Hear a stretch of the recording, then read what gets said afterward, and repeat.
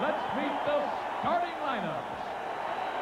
For Michigan, at forward, a 6'9 freshman from Detroit, Michigan, number four, Chris Webber. Second half player, but he can't wait to the second half today. Has really struggled in the first half in the tournament.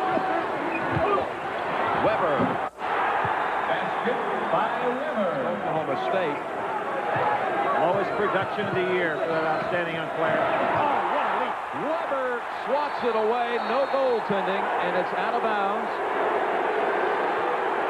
Belongs to Ohio State. They called it a tie-up situation, but the Buckeyes had the arrow. Look at how far he came across the lane to get that ball.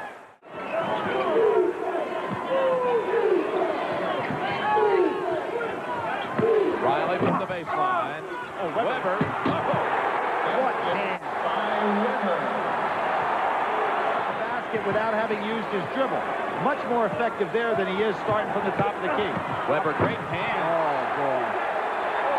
What a catch. Counts numbers, looks backwards, gets a feel for the game.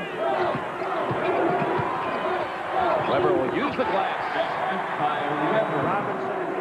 Let me say, before Rose actually had his neck snapped in a timeout by an intense Webber the other night. He said, hey, chill out, Chris. I we got some more games to play. There's Webber's great hit.